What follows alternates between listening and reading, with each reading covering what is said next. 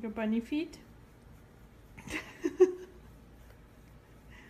bunny feet, yeah? Maybe we should have named him Thumper.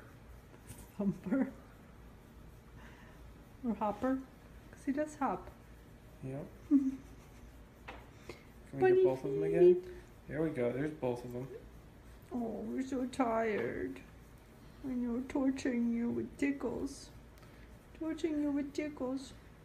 Okay. I'm gonna hang mm. out, watch TV like this. Yep. Okay.